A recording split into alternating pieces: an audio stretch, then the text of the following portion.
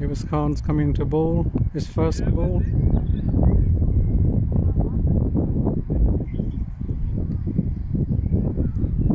First over for Awais Khan. Zaid is wicket keeping nice, taking over Ahmad Saeed after his overs, taking a couple of wickets.